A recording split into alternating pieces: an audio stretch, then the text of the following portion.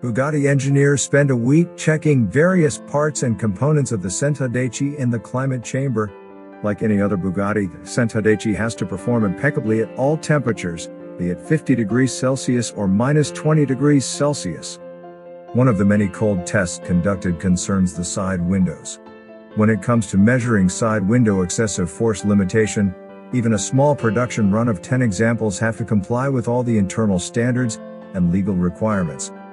The software connected to the side window motor uses predefined parameters to regulate the power needed to guarantee seamless operation, while also protecting people with a stop and reversing function. Depending on the test, the side windows are raised and lowered hundreds of times and a measuring instrument is used to determine the force.